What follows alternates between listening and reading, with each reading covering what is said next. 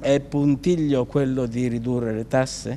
È puntiglio quello di ridurre e cancellare una tassa iniqua? Se è puntiglio siamo assolutamente puntigliosi dalla parte degli italiani, dalla parte di tutte quelle famiglie, l'80% che abita nella casa di proprietà, siamo assolutamente puntigliosi dalla parte dei consumatori, siamo assolutamente puntigliosi dalla parte dei commercianti che non hanno gli occhi per piangere, siamo assolutamente puntigliosi e saremo sempre di più puntigliosi nell'attuare il programma di governo.